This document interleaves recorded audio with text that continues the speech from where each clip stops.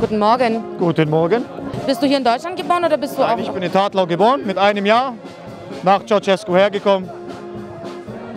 Aber trotzdem dann noch 18 Jahre am Stück durfte ich dann immer wieder in Urlaub nach Durftest- durftest Ich durfte, ich durfte.